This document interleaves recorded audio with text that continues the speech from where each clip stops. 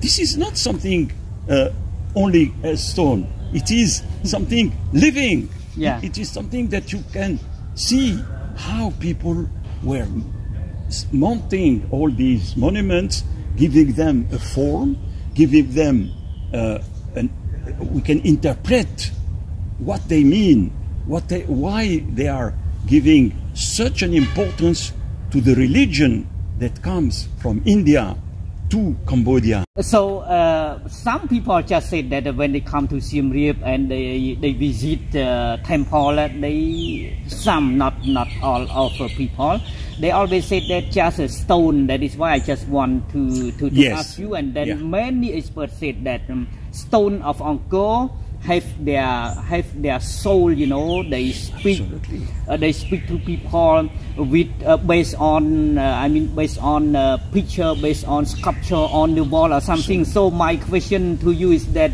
stone are stone or maybe uh, stone have have uh, soul.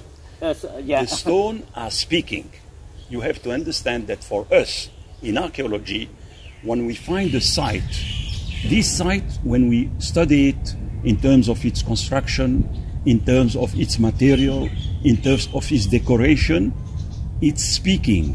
It's explaining how those who came before us, our ancestors, because we consider it's human ancestors. It's Cambodian, but it's also part of our human Uh, memory. world. Yeah, uh, your memory. Yeah. These sites are not only stones. Stones is means they're only a, a stone, but when you have this stone built in such very fine way, with towers, with uh, uh, gopura, with sculptures, this is not something uh, only a stone. It is something living. Yeah. It is something that you can see how people were mounting all these monuments, giving them a form, giving them uh, an, we can interpret what they mean, what they, why they are giving such an importance to the religion that comes from India to Cambodia, which is called Buddhism, which is again a, a religion which is having billion of peoples belonging to this religion. So the, regarding looking at this monument, it's not only looking at the stone with the color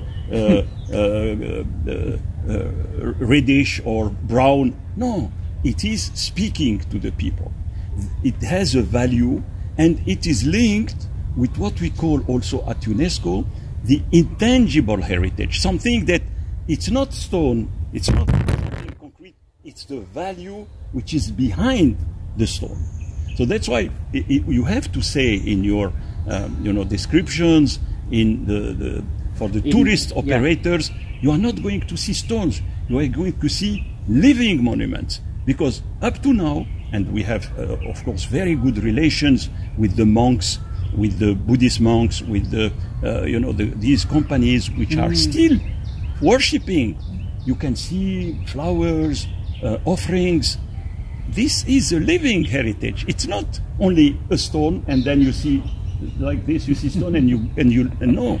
I think that we have When you are mentioning um, uh, stone uh, speak sp- uh, stone are speaking, and then you mention also um, you mention also a living monument. What what does it mean uh, exactly? It- a living it- uh, a- monument. A living monument is a monument which has still the value of giving something to the human presence today.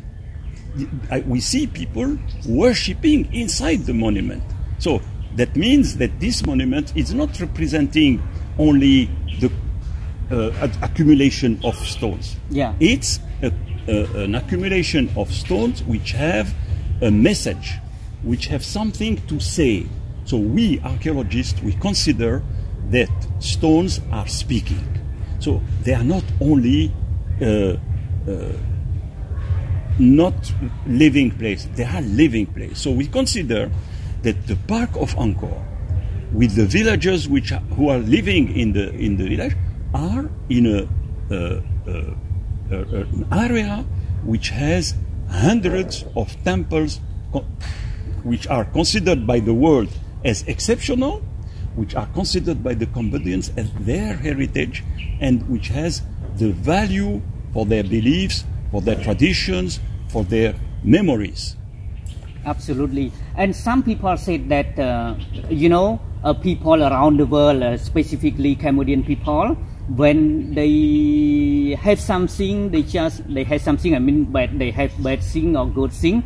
They come to temple to Angkor and they bow, uh, they worship, and it means that everyone tell everything to Angkor, and then Angkor itself tell its story to the world. Is yes, it correct? That sentence. this is absolutely correct, and this is something also what is also exceptional. You don't have in many countries in the world the national flag with a monument. Cambodia, the national flag of Cambodia, is representing Angkor Wat, the three towers of Angkor Wat. This is this is another exceptional value.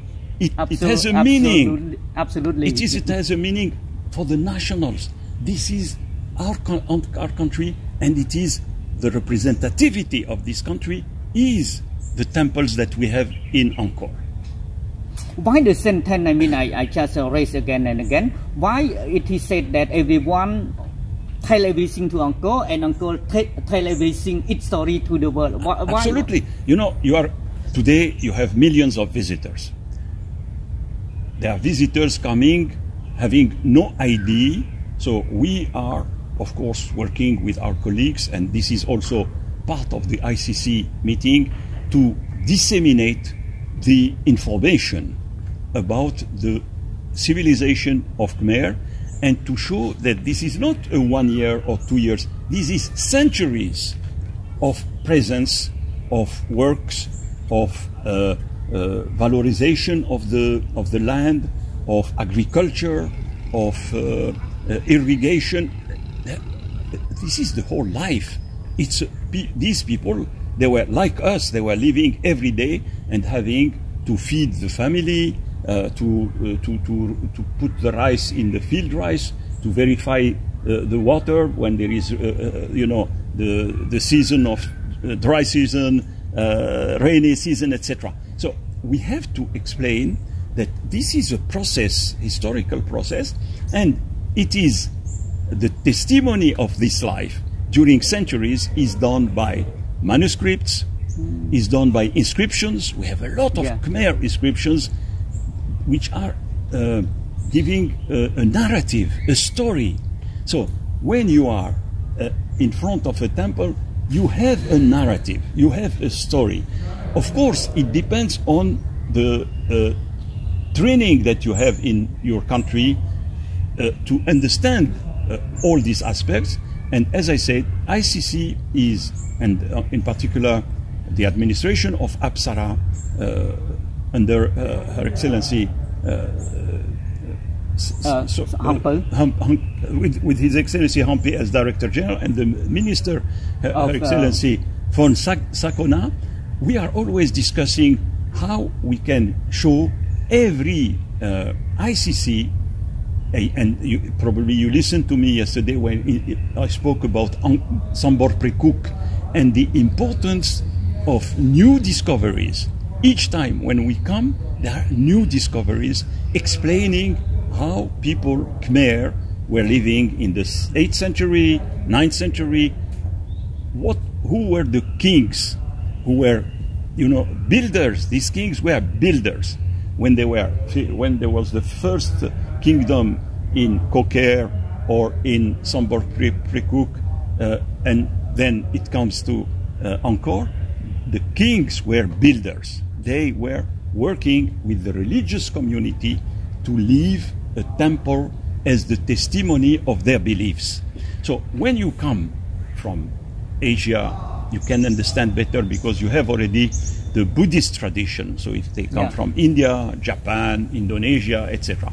When they come from Europe, they need more explanation, and we are suggesting to have in front of each of these very important sites, Koh Ker, Sambor Prei Kuk, Prehavir, Angkor, interpretation centers where you go and you have explanation. There is one which is very nicely done in Banteay Srei. in, in Okay. Banteay Srei, when you arrive, if you don't know anything, this interpretation center is giving you Uh, the information. Information, yes. And this information then makes you understand better what you see the son which are speaking.